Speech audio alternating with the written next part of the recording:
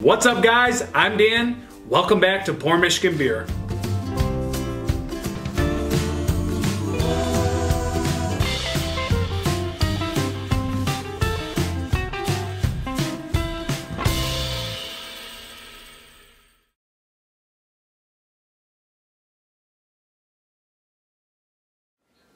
What's happening guys? Welcome back. We're going to dive right into this one. This is going to be New Belgium Captain Dynamite IPA, guys. This is coming in at 7.7% ABV. I think this is going to retail around $9.99 per, per six pack. So that's coming in at really great value.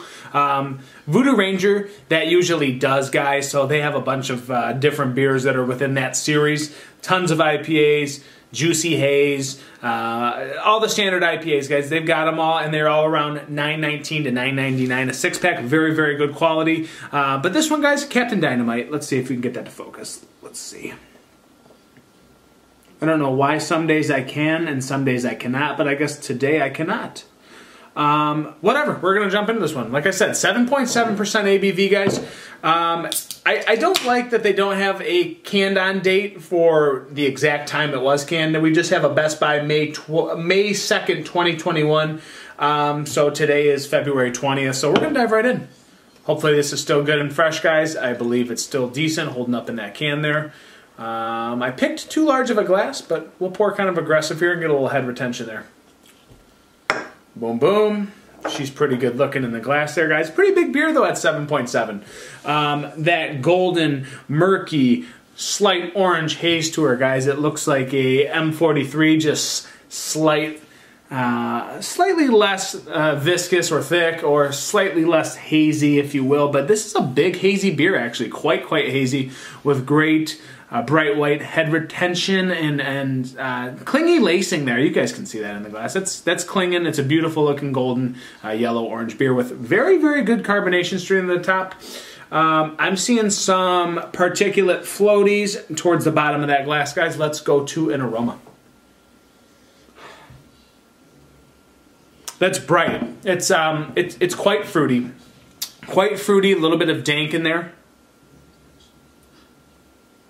I bet you if this was super duper fresh, it'd be really, really green and chivy and oniony, but it's just got a little bit of that onion dankness to it um, with a little bit of that fruity, uh, tropical fruit medley, a little bit of uh, lemon citrus in there as well, guys.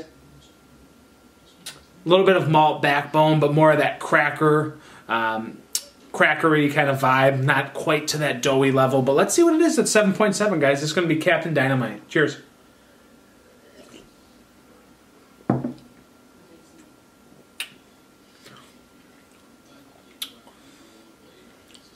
Not as like thick or heavy as I anticipated. It's got a good body to it at 7.7, but it drinks a little bit lighter to the body, guys. I'd say it drinks more like a uh, 6.9, 6.8% beer, 7%, somewhere in that range.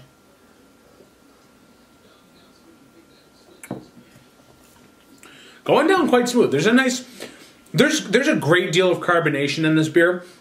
Uh, it's it's quite juicy and creamy uh, in the same token, guys. But yeah, there's there's like a lemony kind of like grapefruity zest to this beer um, for the front here. But it does it has a nice lighter crackery malt bill, a little bit of that uh, uh, caramel honey in there, guys, underneath. I get like some weird. It is. It's almost chivy, oniony on the nose. It's. It's. I think it's onion and like floral mixed together. So I think the floral is showing up in the taste as well, but the aroma's quite um, chivy, oniony, um, dry floral, and kind of like hints of garlic in there. It's just a weird kind of like almost slight booziness too. It smells almost kind of hot to the nose. I think it's kind of green still is where I'm going with this beer. I don't know it's that fresh, but it, it, it almost, you could taste it like it is.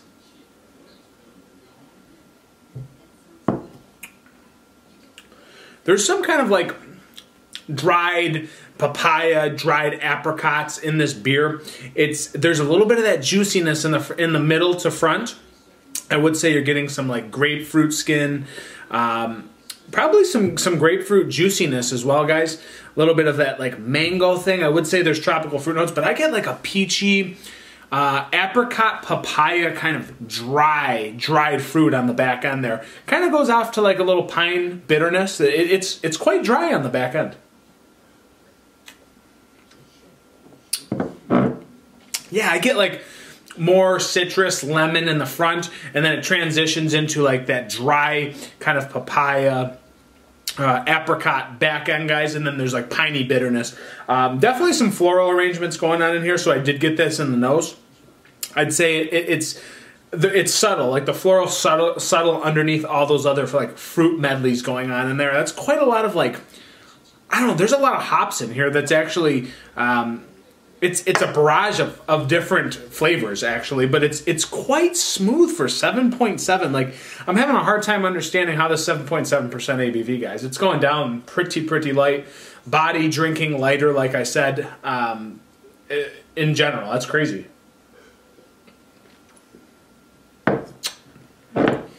Comes across as slightly watered down. Um, but again, heading to that drinkability, so I'm not that upset by it. But I don't know if that kind of compromises the quality of the hops. It almost muddles it a little bit. So um, this is actually a really darn good beer for that 9.99 range, guys. It's very very tasty, nice and dry on that back end. Keeps you coming back in for more. Not going to overload your palate like a sweet uh, New England style typically would, especially at 7.7. Uh, malt bill very easy and calm underneath all of those flavors. So this is a very nice beer, guys, at 7.7, like I said. Um, and I'm going to rate this at a 3.85 out of 5. I love it for the drinkability. Uh, and if you're looking for a good, solid New England style beer for under $15. I highly recommend this one. Again, guys, it's going to go down very, very easy, and uh, there's pretty good quality packed into this beer. So, yeah, I'm going to sit right there with it, guys. It's been another episode of Pour Michigan Beer. Do me a favor, obliterate that subscribe button, guys. We are hashtag road to 1,000 subscribers this year. We'll see if we can get there. Help me out if you can, guys. Over and out. Cheers.